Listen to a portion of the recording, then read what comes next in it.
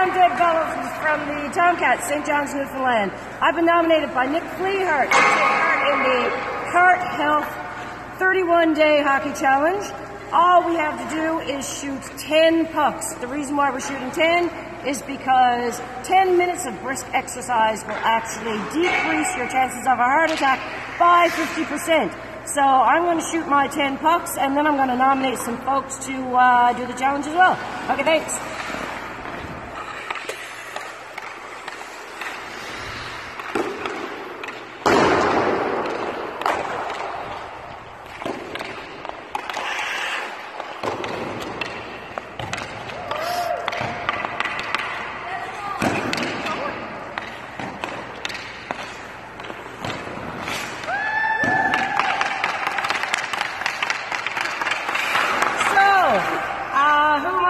Nominate. First and foremost, I'm going to nominate our team captain, Dina Kavanagh.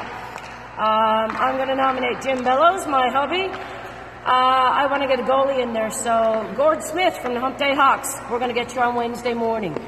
And I'm also going to throw a nomination out there to Terry Ryan, who used to play for the Montreal Canadiens. I got my Boston onesie on, Terry. Come on by, this is all right.